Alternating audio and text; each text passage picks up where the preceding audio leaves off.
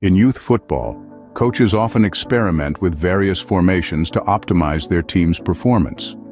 One such formation gaining popularity is the 1-3-1-2 setup. The 1-3-1-2 formation consists of one goalkeeper, GK, one central defender, CB, two wingbacks, one central midfielder, CM, and two strikers, ST.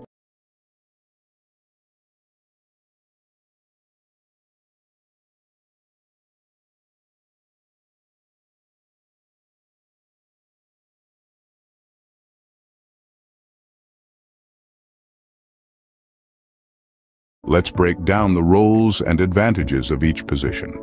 Starting with the goalkeeper, their primary role is to provide a last line of defense, organizing the defense, and initiating attacking moves from the back.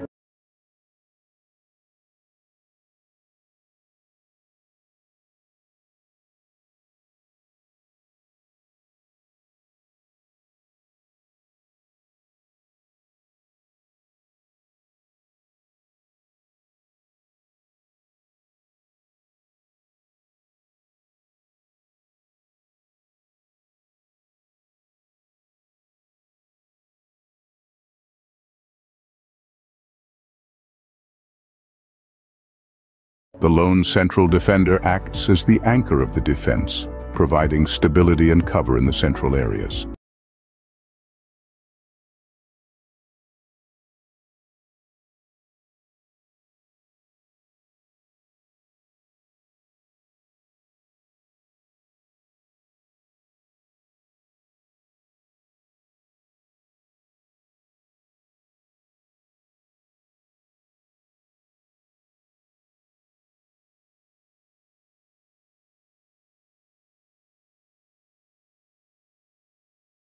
Moving on to the wingbacks, they play a crucial role in both defense and attack.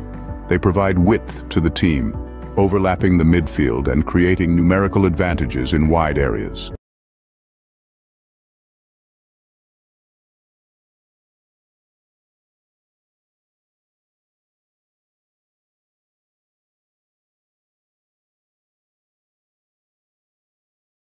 In the midfield, the central midfielder serves as the engine room, linking defense with attack and dictating the tempo of the game.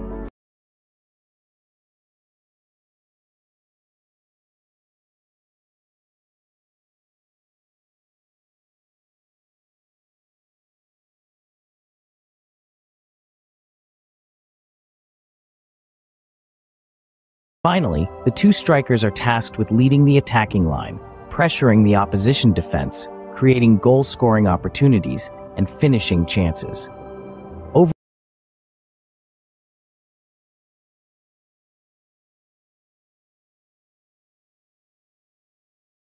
Overall, the 13-12 formation offers a balanced approach, providing defensive solidity while also offering attacking options through the wingbacks and strikers.